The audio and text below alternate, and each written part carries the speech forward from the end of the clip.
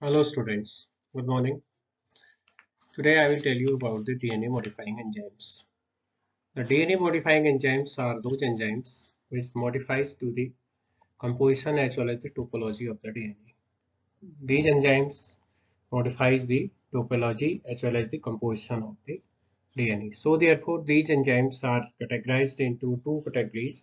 Number one is the composition modifiers and second is the topology modifiers if we are talking about to these uh, these categories these categories so these enzymes these enzymes these composition and topology modifier enzymes either directly uh, affect to the chemical composition as well as the topology they directly affect to the topology as well as the composition of the dna and so therefore they are categorized uh, categorized into two categories. The one is the composition modifiers and second is the topology modifiers.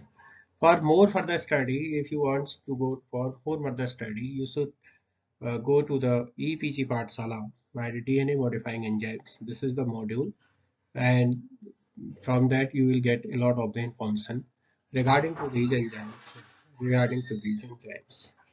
We, if we talk about the uh, these modifying enzymes, if we are talking about these uh, chemically modifying enzymes, so these chemical composition and topology modifier enzymes, uh, in the composition modifiers are those enzymes, they change the chemical composition, they change the chemical constitution, they change the chemical constitutions. And as a resultant, what will be happening? They require the net gain of either net gain or loss of the covalent bonds.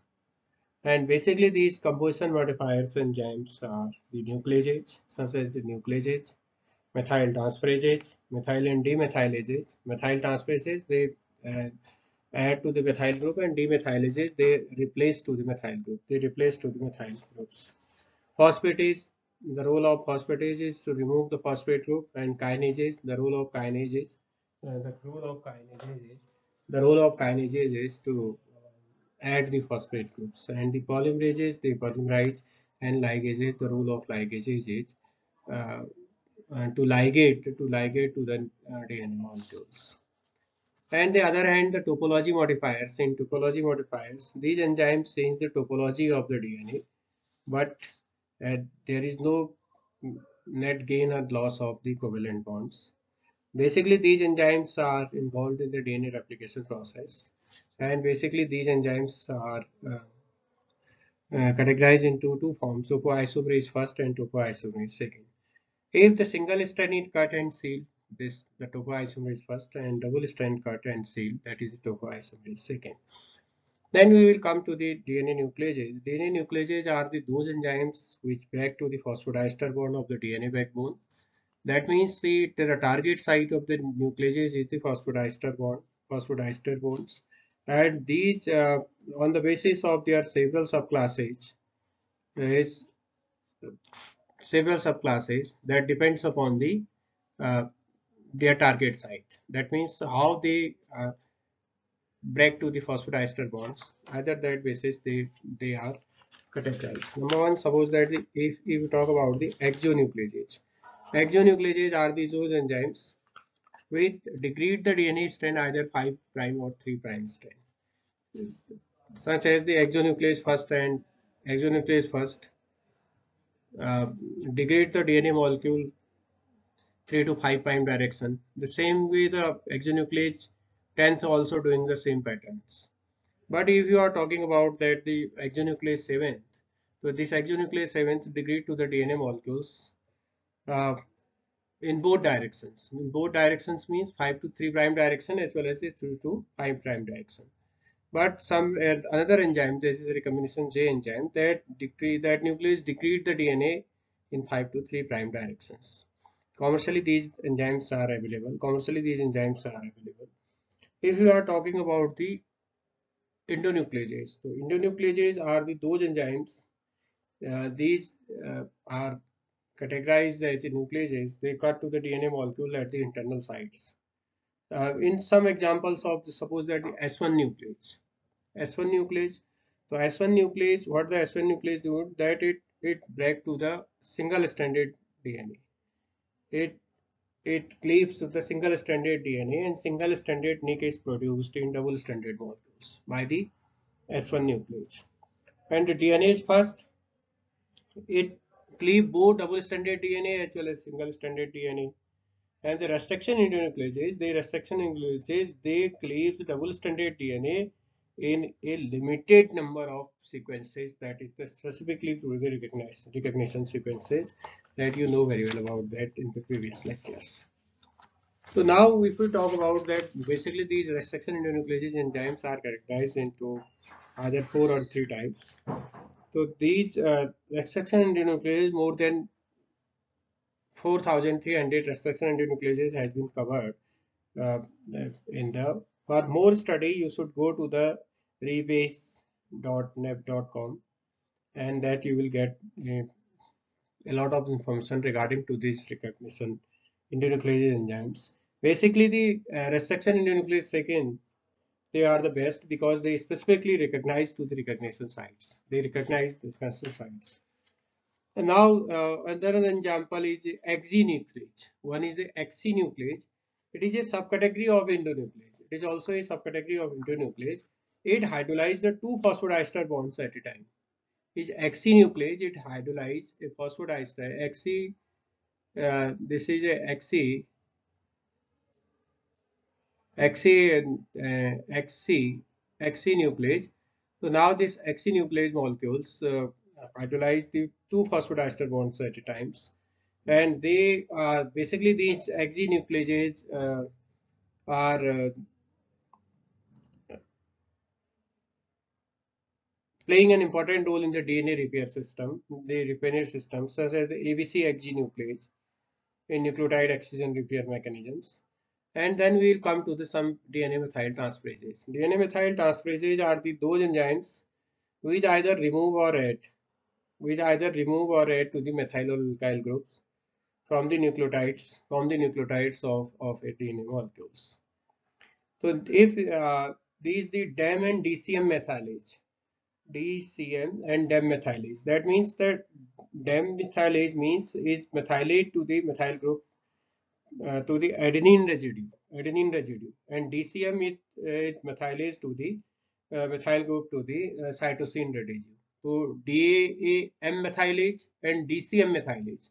Don't confuse that that one because these enzymes, these enzymes, the primary function of this these DNA methylases is that uh, to add to the methyl groups, to add to the methyl group or the alkyl groups. Alkyl groups. Now, um, uh, these enzymes are also a part of the uh, repair system in DNA in E. coli, basically in E. coli. Uh, in E. coli, uh, and these methylase, uh, when the DNA sequence is methylated, when the DNA sequence is methylated, that means it is protected. It is protected DNA, DNA sequence is methylated, then it is protected. It is a protected sequence.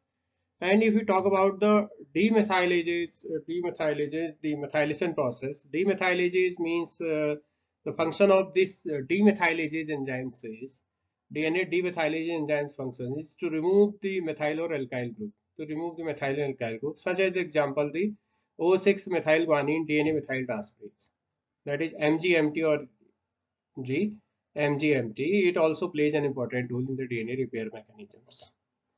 So now these uh, these are the small story of these DNA methyl enzymes.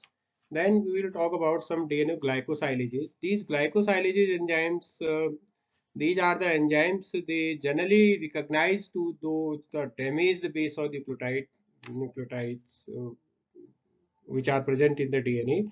And what they are doing, they uh, they hydrolyze to the glycosidic bonds. They hydrolyze the glycosidic bonds between sugar and and the uh, nitrogenous bases nitrogenous bases and then we will come to, come to the DNA phosphatase. The role of the DNA phosphatase enzymes is to remove the uh, terminal 5 prime phosphate groups from the nucleic acids from the uh, nucleic acid basically these phosphatase enzymes uh, these phosphatase enzymes and these phosphatase and kinase enzymes are specifically employed in the DNA. Generally, they are employed in the DNA cloning process. They are generally employed in the DNA cloning process. But on the other hand, the the role of the uh, kinases enzymes is to add to the phosphate group, to add to the phosphate group. Suppose that if you talk about some DNA phosphatase enzymes, and enzymes, suppose that it's alkaline phosphatase.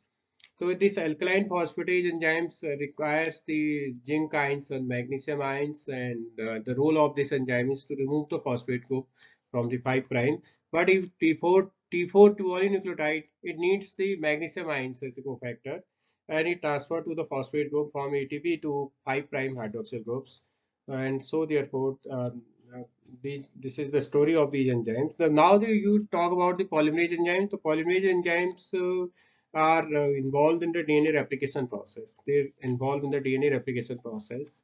Uh, DNA replication process. These enzymes are involved in DNA replication process. Uh, there are again there are some subcategories of these enzymes also. Uh, these enzymes also. Because if you talk about these uh, these enzymes so these enzymes uh, and few enzymes are showing the different types of the activities such as the sub, sub some are showing the, the proofreading activities and some are showing the exonuclease activities and some are showing the polymerization activities. And depending uh, because uh, the functioning and diversity functioning on the basis of functioning uh, functioning they also show a diversity diversity. And uh, on the basis of that diversity their rules are also uh, categorized into some different categories. Then you will come to about the DNA ligases enzymes DNA ligases enzymes they are showing a ligation reaction. Ligation reaction is endergonic reaction. And what is the role of these reactions is these enzymes these enzymes nick translation is done by these enzymes. And uh, these ligases uh, needs the either ATP or NAD because this ATP and NAD provides the energy to these enzymes and they create a phosphodiester bond between the base pairs between the base pairs because of the 5 prime phosphate and 3 prime hydroxyl group and so they, they produce a phosphodiester bonds. Then we come to the topoisomerase enzymes. The topoisomerase enzymes are those enzymes uh, they uh, they they change the supercoiling of the DNA. They change the topology of the DNA molecules they generally what they are doing they generally remove to the supercoils and relieving the torsional stress relieving the torsional stress in the DNA during the replication uh, during replication process. So what they are doing they changing the linking number and they changing the linking number and uh, and to relax to the uh, DNA molecule to relax to the DNA molecule we are we are knowing that the DNA molecule is uh, completely bound to each other because it's due to self-sealing capacity they are completely bound to each other. So if you talk about these topoisomerase enzymes so these topoisomerase enzymes uh, these topoisomerase enzymes are categorized in one first type and second type first type and second type. And these uh, topoisomerase enzymes uh, uh, they break the two strand of the DNA and rotate the end broken strand to intact. And this is the this is done by basically the type first A and B B and type first and B. By basically this type first A topoisomerase is present in E. coli and uh, they generally release relax to the DNA molecules DNA molecules and the same uh, set uh, functioning is done by topoisomerase third. They also relax to the DNA molecules by removing the negative supercoils and by that process they increasing the linking number plus one and topoisomerase second, the topoisomerase second, they increase the linking number by multipliers of 2 and they cleave both the strand of both the strands both the strands during the reaction. And they rotate the both the ends at a 360 degree manner. 360 manner. Reconnect and repeat it. And uh, this reaction is uh, powered by the ATP that means it, it needs the energy. It needs the energy so now these topoisomerase enzymes, these topoisomerase enzymes plays an important role in, in relaxing to the DNA molecules and they they relieve they relieve they provide the relieving to the uh, stress. They they relieve they provide uh, they plays an important role in relieving to the stress. Just they remove to the strains from the DNA and that's why the DNA is available for doing the further reactions if we are talking about the other uh, PCR, PCR is a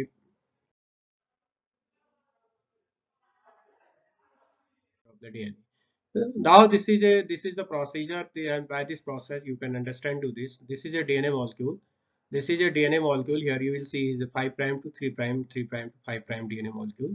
Now uh, your first job is when you are you prepare a, a PCR reaction for this one. So now what will be happening in the denaturation process? The uh, how the uh, melting temperature is determined 4 GC plus 280 on the basis of your uh, sequences of the uh, primer sequences you determine the uh, melting temperature, annealing temperature, extension temperature. Extension temperature 72 degree centigrade.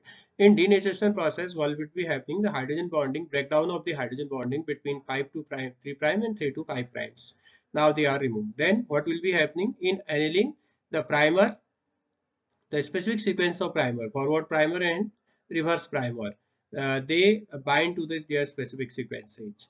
They bind to the specific sequences. Then then what will be happening in the extension extension phase?